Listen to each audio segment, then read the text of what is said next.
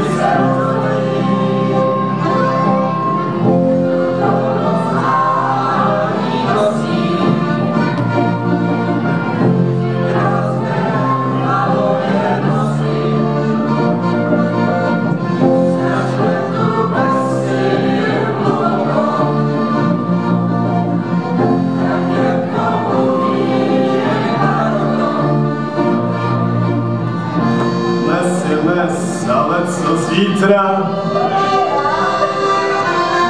Zbyde to zázračná